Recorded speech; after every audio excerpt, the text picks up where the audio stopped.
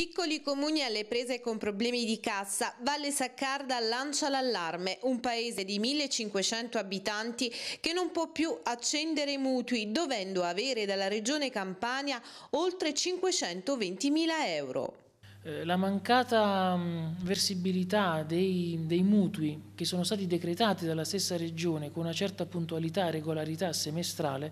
pone a noi, a noi comuni, soprattutto i piccoli comuni della nostra realtà penninica interna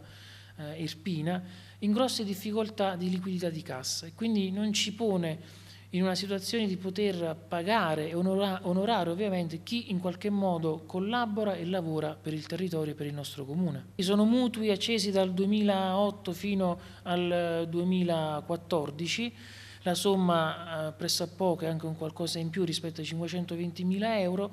ed è un problema serissimo sia di bilancio, di pagamenti degli stipendi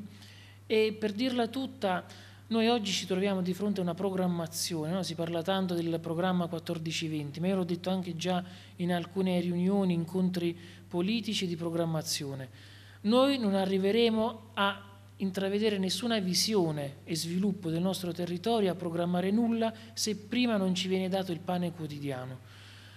Sono soldi che ovviamente il Comune ha anticipato, sono soldi che spettano di diritto al Comune, a tutti i Comuni che hanno acceso i mutui con la benedetta legge regionale 51 del 78, che è stata una legge importante